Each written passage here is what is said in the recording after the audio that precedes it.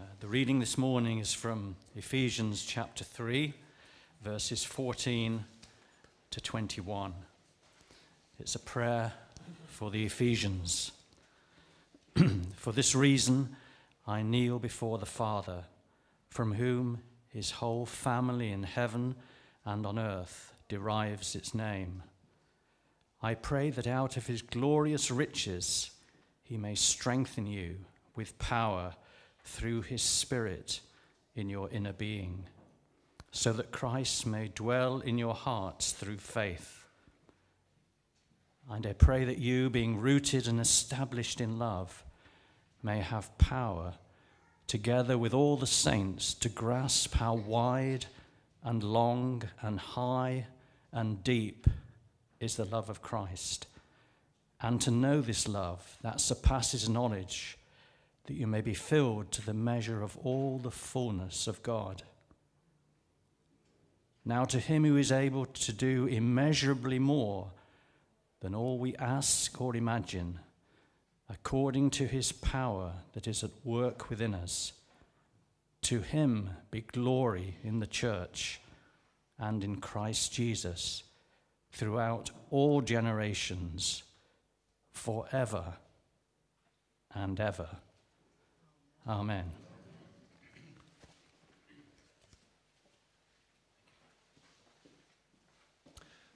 So, Father, as Adrian and Denise come to speak to us now, we pray again that you will do immeasurably more than we're expecting this morning. Would you speak to us? Would you teach us? Would you challenge us? Would you rebuke us if that is necessary? Lord, speak to us this morning. Through Adrian and Denise, we pray. In Jesus' name. Amen. Welcome.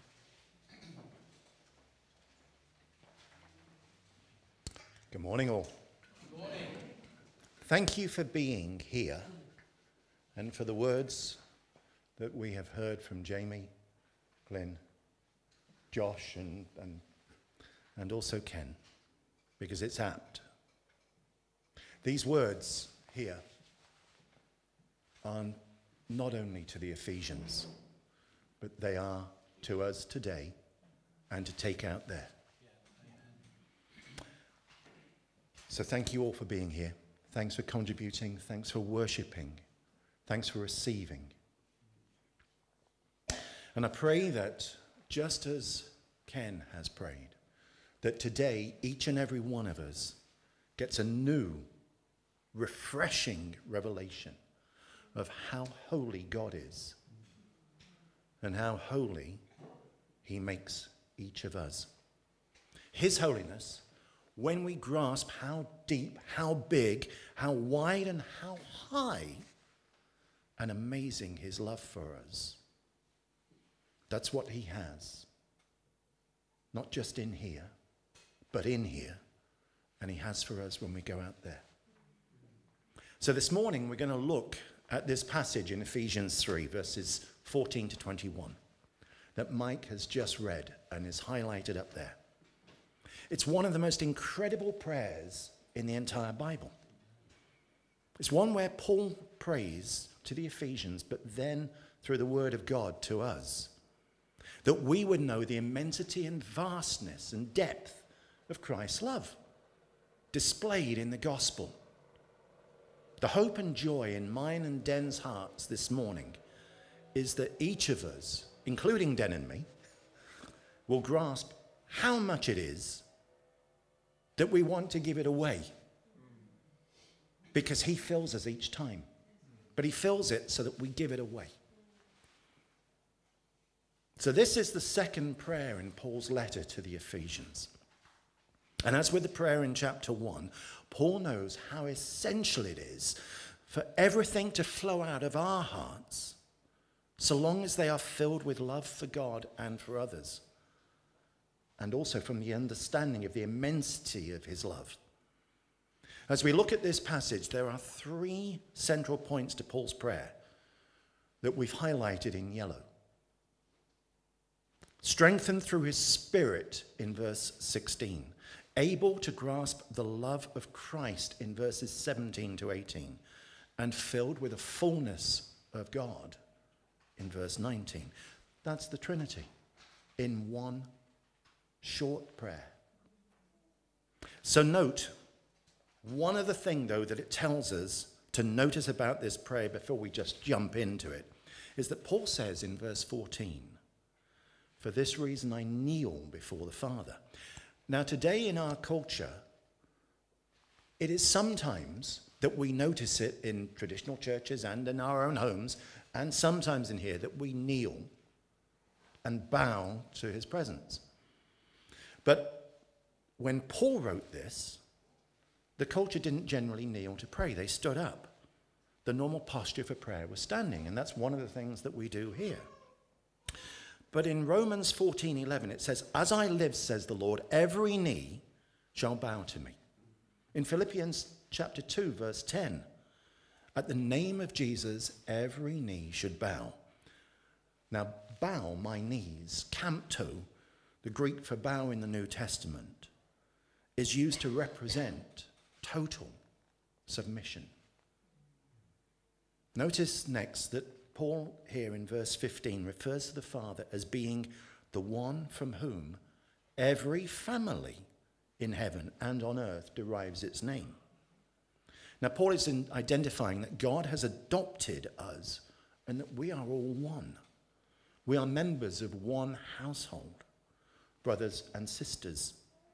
We're unified as one, Jew and Gentile. This is the Father to whom Paul prayed. Just some background. There was no process for adoption in the ancient Jewish culture. If a man died without an heir, his brother automatically became the head of the household. So there was no need for any legal adoption process. But the word adoption during the time and the context in which Paul spoke and wrote this letter to the Ephesians and the word of God to us refer to the Roman concept of adoption. Rich Romans would have looked around if they didn't have an heir to see who could become one if they had none of their own. The rich Roman households would have had servants or slaves, and the procedure would have been to look along those and among them to see who they could adopt. The procedure would have been first to ask the parents, then go to a judge with the parent and the child.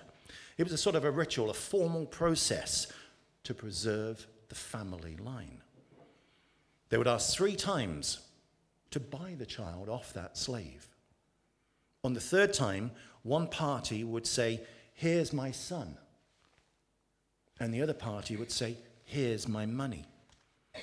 The judge would then declare patria potesta, Latin for the power of the Father. It was a legal process, and the child would then come under the new family authority.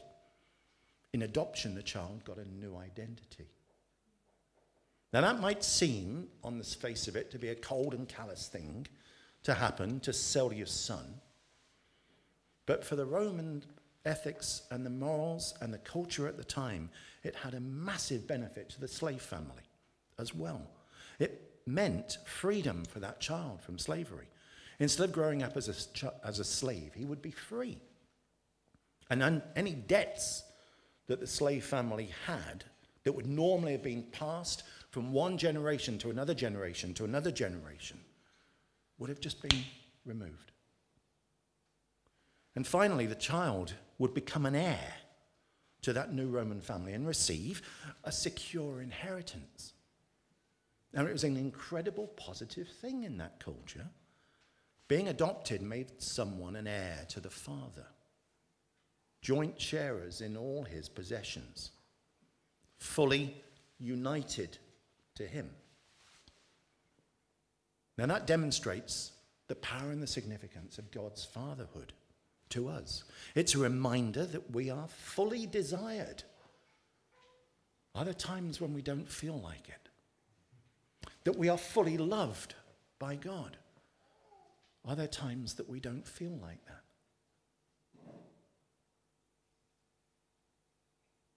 Co heirs with Christ is what we are. That's what Romans chapter 8, verse 17 says. Read it when you get home.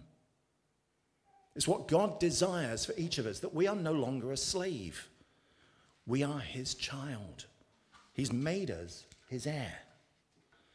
All of that means all the riches that God has got are available to each and every one of us.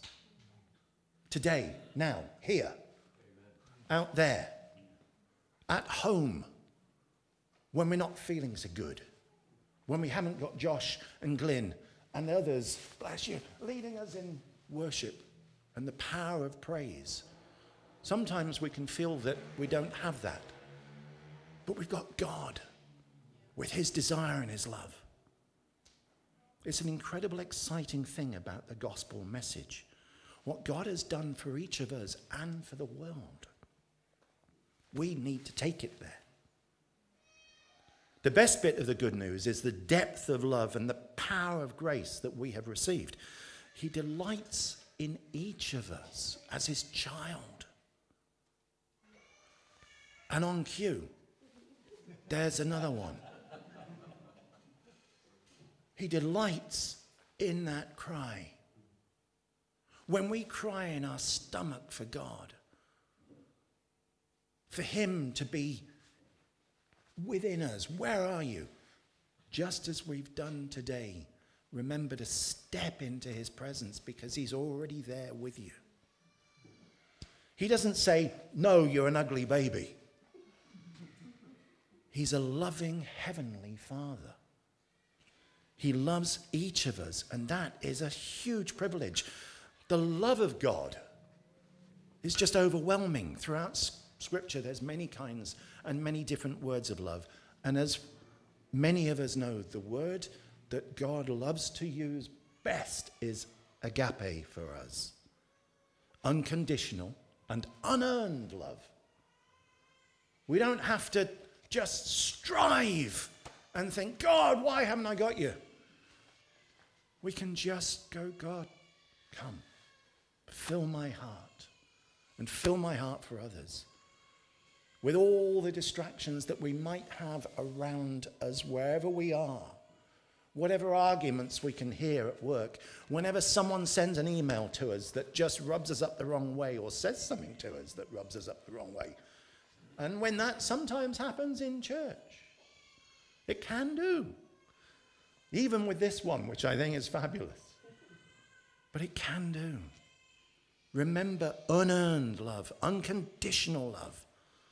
There may be doubts that make us question, you know, God's love, but Paul was writing from a similar viewpoint, remember.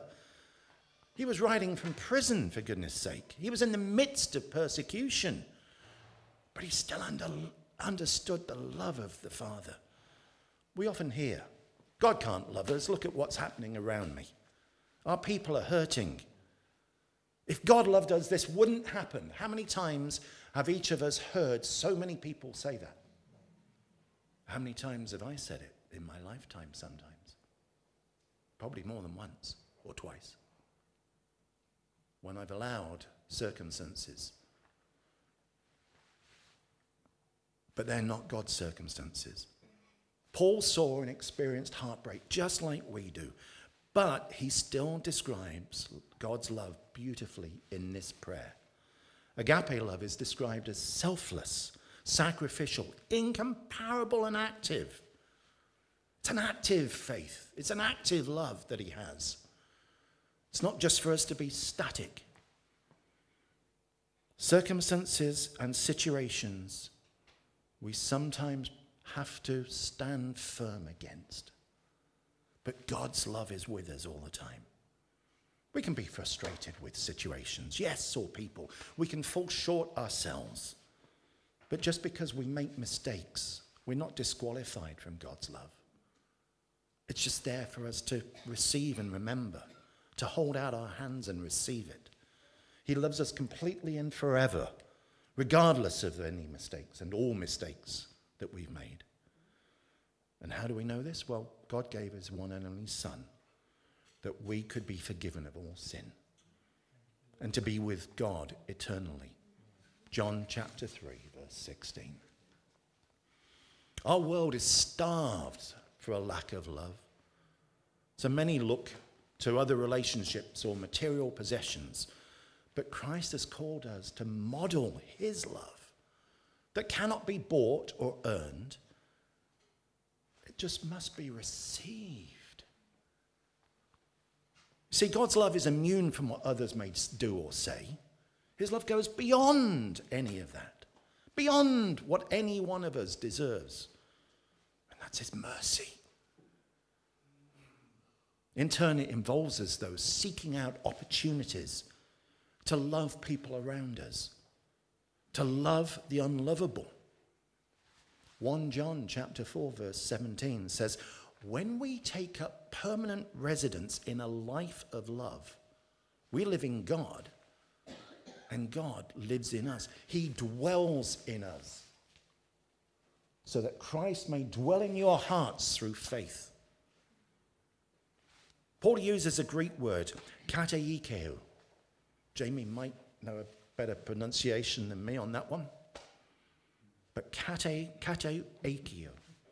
It refers to settling down or permanently living somewhere. So, Paul's prayer that our inner beings will be strengthened so that Christ may dwell within us. It's important, this dwelling. See, when Den and I signed the contract for the home that we now have, through the months ahead, we've done some work in there and had some work done in there. We've had some walls sort of like brickwork sorted out. We've had the electricity made safe and other things. We fixed cracks. We've put new roof on the garden shed to stop everything getting wet inside. God's covering is over each of us. You see, He fixes the cracks within us. Now, when Christ takes residence within us, He finds those inner cracks, the ones that we've put a cover over that we perhaps would prefer not to talk about or think about. He finds those cracks when we hold out our hands to receive Him. What does He do? He repairs them. He moves into our inner beings and dwells within us. And as He does, He begins cleaning, repairing, expanding, and over time, our inner being becomes dwelling places that reflect who lives there. It reflects Jesus' character. So the question is then have you allowed God to take up permanent residence in your home? Are there rooms that you have shut off to his love or situations that you don't carry him into? Because there shouldn't be anything that we close off to God. you know, some of us have a, a do not enter sign on our hearts, don't we? And we shut off God into areas and we say, oh, please leave me alone in this bit, or I'll give this bit of my life to you, but actually I'm not going to give you all of it. But you know, if we do open the door to the Holy Spirit, all of the mess, all of the imperfection, and the ability for fear to gain access is cleared out for good. So we need to open up to Him so that we can receive His grace and His love in new and refreshing ways. You know, just watch what He can do with the rooms that you want to shut off. And once we start to reflect on that, then we can really start to understand what's meant by God being able to do immeasurably more. Because too often we're very quick to say, I can't, and yet we serve a God who can do more than we can ask for or think or imagine. And he takes impossibility as a starting place to start and, and shape new opportunities for us. And so maybe we need to challenge our I can'ts with a little bit more of an understanding that actually we can. you know, when I was at school, I decided that I was hopeless at maths. And I'd expected to fail, and because of that expectation, then actually, usually I did. I made sure that I did. And my confession of I can't actually meant that sometimes I didn't even try. And you know, we might not all be good at maths, but you know, we all have the potential within us to do more than we actually can think. And at times we just we forget which classroom we're in we, forget that God is our teacher. He's our strength, He's our wisdom. He, um, he's there and He's available at every I can't moment. Yeah, the truth is, you can get over that, that upset. You can step out. You can trust His word. You can be a great friend. You can lead well.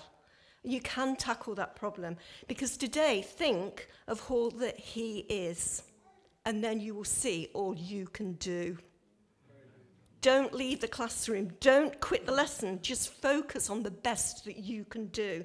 Because maybe even you need to make a list of your I can'ts in your life and make them I cans. You know, one of the favourite passages of Adrian and mine is Matthew 14 28, where Peter walks on the water towards Jesus.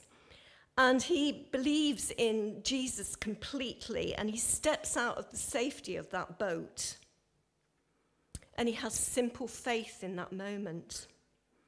He's been taught by Jesus to do the things that Jesus did. And so, with his eyes fixed on Jesus, he steps out and he does what he sees Jesus doing. And it's such an example for us when we're faced with seemingly impossible situations. He was doing fine until he took his eyes off Jesus. And then the moment his trust fell, he began to sink. And I've seen that time and time again in my life. You know, the moment I start to doubt, fear comes rushing in. And Peter called out, and Jesus rescued him. And if only we could learn to maintain our faith in the face of difficulty and to really understand that through the love of God, He Himself is faithful. In Lamentations, Lamentations is uh, a book in the Bible that's full of things going wrong. but there's a little gem right in the middle of there. It's Lamentations 3 22 to 23. And it says, Because of the Lord's great love, we are not consumed, for his compassions never fail. They are new every morning. Great Lord is your faithfulness. His faithfulness and commitment to you will never drop. He remains the same. You will not lose out by trusting Jesus Christ. Because, well, why am I telling you this? Because the foundation of, of a life of faith is to know that God Himself is faithful. And it's not even down to your ability to believe. He is faithful and He will not change. His commitment to you is 100% unchanging, unending, permanent, and enduring. Yeah? Because of His great love towards you, He will show His faithfulness. He is so faithful to answer prayer and to work into situations that we pray for Him to work in. You know? But what's our part? Because God Himself is faithful.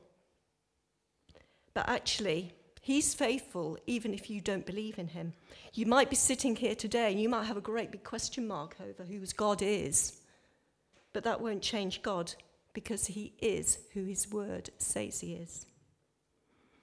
But does His word require something of us in order to connect his faithfulness and bring power into our lives. Well, we need to look. We need to look at his word. And in Romans 1, verse 16, it says, I am not ashamed of the gospel because it is the power of God for everyone who believes. So God does require something of us to connect with his power to be faithful. He is faithful, but he's looking for something from you. He's looking for that connection. He says, I am not ashamed of the gospel because it is the power for the salvation of everyone who believes. So, in other words, everyone in this room is available for all people, but not everyone, whatever they think or they feel. It's for believing people. Now, we can't believe in something that we haven't heard. And that's why this starts with the good news. And the good news about Jesus Christ is that he died for you and me. He died on a cross. He took everything that was wrong with the world, everything that was wrong with us our sin, our problems, Satan's power. He took poverty and lack upon himself. He took mental illness, he took loneliness, he took despair, he took addiction, he took every human problem on the cross because he died to pay a price for you and me. And he rose again from the dead because he loved us so much that he wanted us saved. He wanted to show the faithfulness of God through the cross and the resurrection that God is faithful to what he said he is going to do. And by his resurrection, he proved that nothing could hold him. No power of death. No problem is too great for our God. There is no circumstance in your life that he cannot change. He has accomplished everything. Jesus said on the cross, It is finished. I have done everything for you. That is why Paul says the gospel, the good news, is the power of God for everyone who believes. So to believe means to trust and to act on God's word. Believing means I trust what God says in the scripture and I'm acting as if it's true. And this act of faith and this step of faith is the power of God. You know, we need to live out of faith. When I believe in my heart and my heart is no longer filled with me, and I know that today I say, Jesus is Lord, that's action. I have another person that's, that's living and dwelling in me. And when I do that and I confess, then that's action. The Bible requires action. You know, believe in your heart, confess with your mouth, and unto salvation the power of God to take you out of the darkness and bring you into the light, and to go to heaven and to live with Him eternally. Whew. Belief is not just an acceptance of faith, it's actually a doing word. Oh, if only we could just stop these moments of doubt and truly believe that God wants us to give us immeasurably more than we can ask for. Oh. You know, when Adrian and I were preparing for this, um, we, we've spent quite a number of weeks preparing and listening to God and asking Him what actually He wants us to say today for you to hear. So it's not from us, it's from Him. And, um, and God just led me to a passage, and it was in um, Joshua 15, and it's about Caleb's daughter, uh, Achsah. And I really believe it's a word in season. Um, because after being given the land for her, her inheritance, Achsah makes a really new, bold request. And she doesn't just want the land that she's been given as her inheritance, she also asks for the springs of water that go to make it more fertile and more fruitful. And Caleb, he obviously loves his daughter, and he gives her not only the upper springs, but he gives her the low springs as well. And I just love her boldness. And the relationship that she has with her father enabled her to ask for more than she just needed. And I love how Caleb, her father, not only gave her her immediate need, which was the land, but he gave her something that would bring even more blessing and more fruitfulness. You know, God, he, He's got a supply and He's got a source way beyond where you can think or imagine. So anything that you think is a big ask, just remember who you're asking.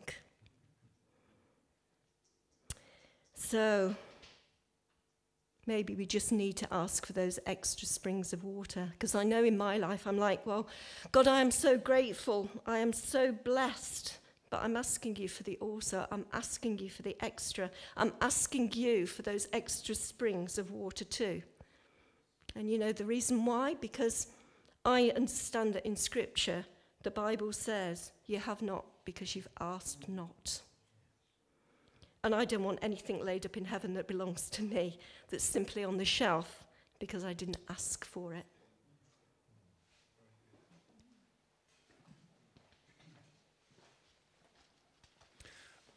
I didn't ask for this crown.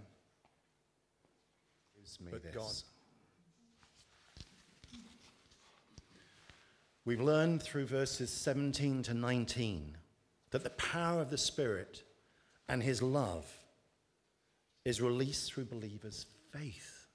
That love is so immense, it's impossible for us to understand it fully in our natural self.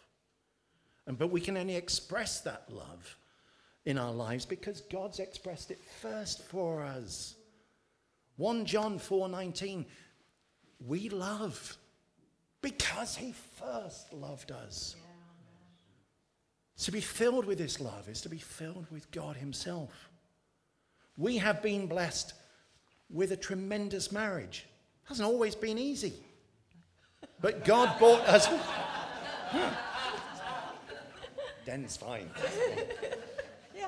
But yeah, and I know that. I know that because Den tells me, because God tells Den to tell me.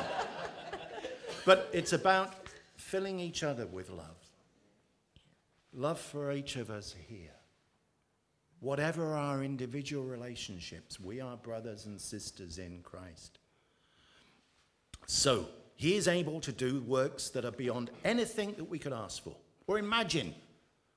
Okay? He desires to see such power in his children, however old or young we might be, that's who we are, so that his glory will be seen in his church. It's not necessarily a building, this is church. That's also church out there. It's where we take Christ. So, going back where we started, we can feel safe in God's family. We should have learned through this message that God doesn't adopt us when we have dealt with our mess, all our faults. He adopts us so he can help with those things and says, This is my love. He adopts us so that we know we are secure and that we're loved and safe. That's his love. The more we begin to believe that, the more we move forward in it, the more that we trust in it, in our lives every single day, the more we'll see change. And for some of us, that means that a whole lot of mess is going to come out, and a whole lot of damage, a whole lot of fear. A whole lot of stuff of our past can come out in the presence because actually we now know that it's okay to show God this stuff, and He's not going to reject me. He's not going to push me away, and He's not going to un- adopt me. We can be- begin to live as free children of God never ever feel insignificant. Because if you're a Christian, never ever feel that what people say about you, or the fact that they ignore you, or they treat you badly, defines your value or your worth, because it doesn't. God has bestowed upon you a value, a worth, an honour. It's beyond all that you could imagine. God Himself loves you immeasurably and you rule, you reign. You have a crown of authority upon your head. You are sons and daughters of the King. That's what God says about you. There's nothing about you personally that makes you worthy, but God says He will seat you in heavenly places. Amen. Amen. So, the crown that was on your chairs and the crown that is in most of our, on most of our heads. There's a throne at the back of the room that we'll pass by when we go for tea or coffee. Even for those of us that aren't staying for tea and coffee, go past the throne today. Because we want you to think and take time for what you might be holding on to still. Those things that are burdens, those things that we keep going back and picking up again when we know that we shouldn't, or when we've tried to let them go. Something that is not God keeps putting them back. So think about those things when you go past that throne. It could be addictions, it could be alcohol, it could be taking drugs, it could be pornography, it could be gossiping, it could be mistakes that each of us have made, shame that we feel, or that others have tried to put on us and that we have received when God says, This shame is not for you. This shame is for me. I dealt with it at the cross. Give it to me. Maybe it's like I was suggesting earlier. We have a, an inner room that we've trapped things away in. Well, today, take those things out. Overstretch yourself to those things and give them back to Christ. Maybe we can take too many things on. Think about what God might want you to lay down. Maybe you need to be bold like Achsah. Ask for something that we think is out of reach. He can give us immeasurably more. Whatever it is that you want to place before the Lord, knowing He can do that immeasurably more, or imagine. What can we imagine? We can imagine a lot. But we can imagine far more because that's what God can do. So reach for that extra bit. Whatever you want to place before the Lord, knowing that He can do this. So think for a moment to pray.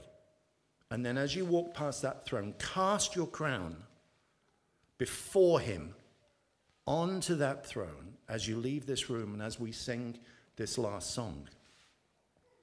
And if there's anyone here that hasn't yet said yes to God, or maybe you feel that you want to recommit yourself to that as a it's something's brought that back into your memory again have strength in him overcome more than you can possibly think don't leave here today without speaking to someone next to you or looking for prayer from Ken and Jane, I think, are on the ministry team here at the front. They'll be privileged. Secure that promise of eternal life. Don't let this opportunity pass you by. He who is able to do immeasurably more than we can ask for or imagine, according to the power that is His that is at work within us. Amen. Amen. Josh, thank you.